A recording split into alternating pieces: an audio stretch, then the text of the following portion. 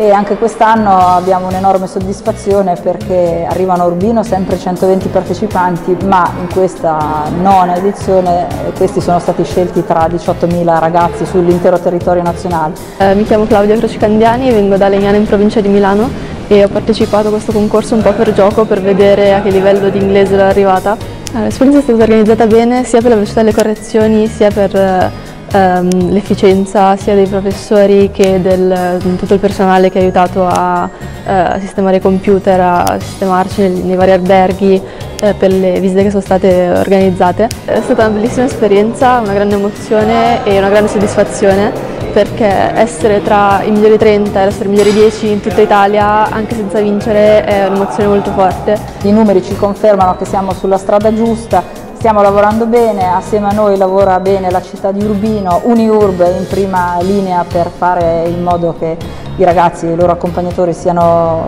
ben accolti dalla città e dall'università, per cui confidiamo di poter fare sempre meglio, ma mi sento di dire che già stiamo facendo decisamente bene.